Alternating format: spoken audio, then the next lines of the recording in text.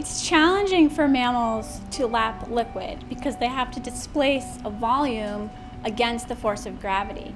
But nectar feeding bats have specialized structures on the tip of their tongue that they use for lapping nectar.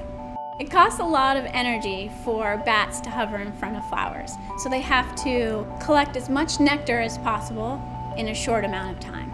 Their tongues are very similar to mops. They have these little hairs at the tip of the tongue that are also called lingual papillae that become flush with blood during nectar feeding.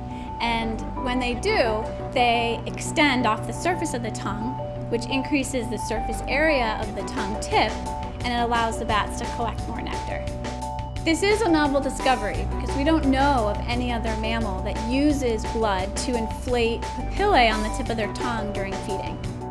We think that these tongue tips can be used as models for inspiring industrial designs, such as new innovations in endoscopes because they increase in length and change their surface configuration at the same time.